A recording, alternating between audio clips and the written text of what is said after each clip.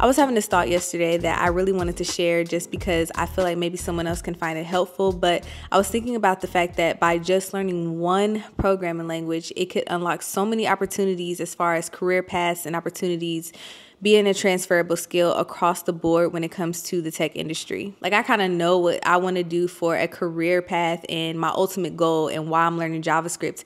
But me being me, I love to learn about different tech roles and what it entails and what it takes to get into these different roles. And so, one of the main questions that I always ask when I'm Googling things or I'm looking things up is, what are the main languages used in this role? And the running theme seems to be JavaScript and Python, and especially Python because that's kind of the do all language. That's kind of the language that it can be used to do pretty much anything. Now, I personally love and am on the creative developer path, but I have looked into cloud computing before, and I just came across the other day a role that is called SRE, and I believe that stands for Site Reliability Engineer. And both of those roles take a language called Python. Those are going to be your main used languages in those two roles. And then you have JavaScript, like I said, where there is creative development, full stack, front end, back end, mobile, game development, and the list just goes on. So this let me know one thing, and that is when I am in those modes of second guessing myself and thinking if I should be on the career path that I'm on, if I should continue to enhance my front end development skills, and then adding on to the skill set by adding back end to become full stack,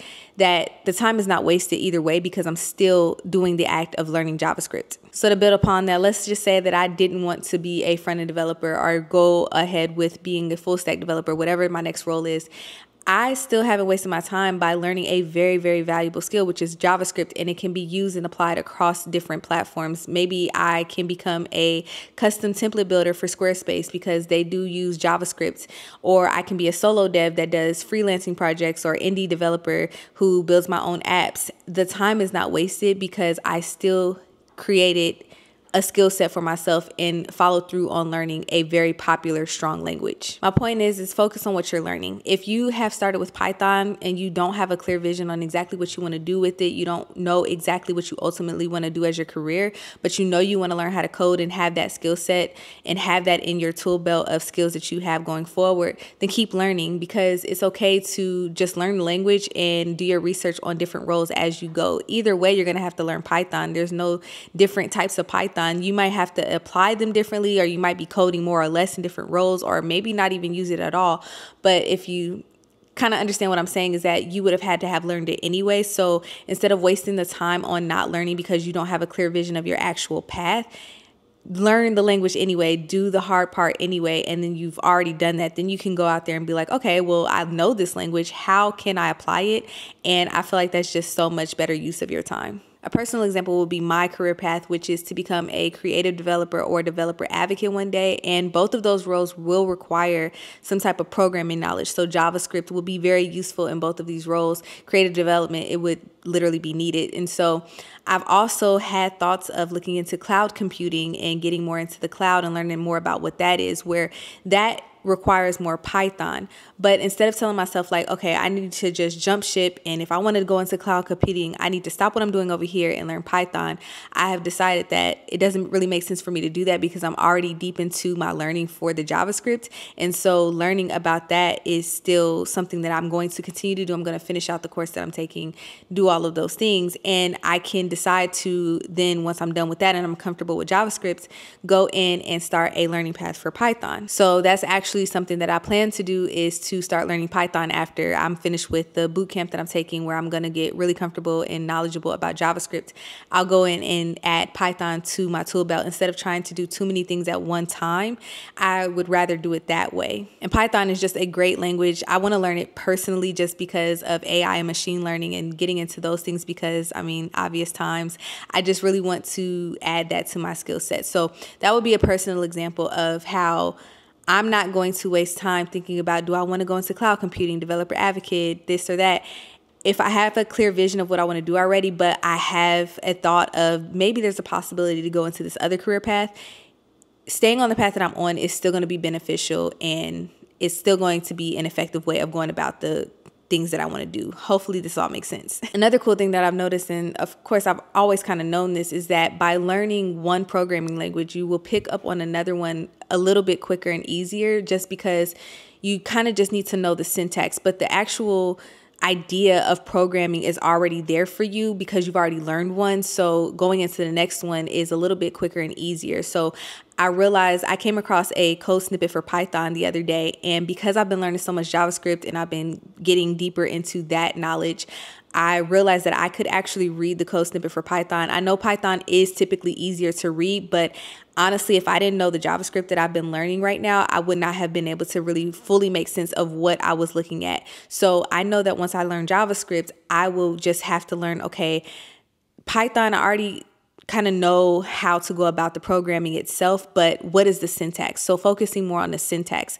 Now I could be wrong, but this is just based off my observation of, like I said, seeing that code snippet saying, okay, it seems to be kind of like the same thing in a sense, is just different syntax and different ways of going about writing the actual code all in all, I just wanted to get on here and say try not to get distracted by all the different career paths, all the different choices that you can take. What language should you start with? Those type of things because there are so many different things out there. It is so overwhelming. I know it can be really hard to kind of focus in, but I do truly feel like once you come across that thing, you'll know that that's what you want to be doing and what you want to be focusing on. So, if you know you want to code right now but you don't know exactly where to start or where you ultimately want to end up, I would highly suggest just maybe looking up the most popular popular languages that are out right now, which tend to be Python, JavaScript, amongst other languages. But for the sake of this video, we'll just keep it to those two. And if you really, really don't know what you want to do, focus on Python. Python is so useful in so many different ways and it is one of those like i said do all languages so i personally would probably recommend just starting with python and just learning that and then you can easily jump into other things once you get a good grip on that but don't don't focus on trying to learn too much at one time. You don't have to learn JavaScript and Python at one time. And if you are going to do that, I suggest not learning more than like two to three languages at a time. I I just personally wouldn't do that. I don't know what anyone else would say. I can't tell you what to do. I don't know what everybody, you know, everybody is just capable of different things. Me personally, I would focus on one, maybe two, but start with those ones that are going to be useful across many different career paths and industries. If you're like me and you really love the visual side of things, you really love to see all the pieces come together and code something and see it immediately happen on your screen. That's why I love Frontend. That's why I focus on that. If that's something that interests you, then maybe start with JavaScript because that's going to be more of your visual language, in my opinion, where you can apply that to things that are a little bit more visual, like I said, like front end development, game development, things like that. So just don't think about it too hard. Like I said, if you don't know at all, go with Python. I don't know. And if you do kind of have an inkling, then choose the one that makes the most sense for that inkling that you have. My last piece of advice based on personal experience is going to be that if you've already started a course or a boot camp or any resource that you're using right now to learn a programming language, but you're kind of like me where you like to explore and see what is out there, see all the different tech roles, and you're kind of like, well, maybe I want to do this or that continue on with the course that you're taking right now. Continue learning whatever programming language you've already started with because like I said, you'd be surprised how much easier and quicker you might learn the next one. And so finish out the one that you've already started, get comfortable with it, get really good at it, understand it because those concepts and principles that you had to take to learn those different languages that are the language that you're learning right now is kind of going to apply across the board. So continue out with whatever you're doing if it makes sense and then you can pick up another language later on down the line. So that's it. I just wanted to get that out of my head and into the world in case anyone else could find that useful.